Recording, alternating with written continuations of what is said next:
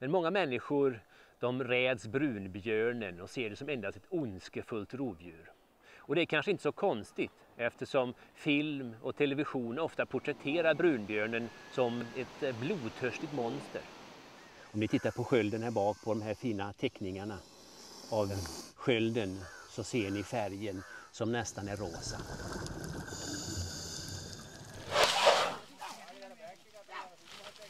Hello.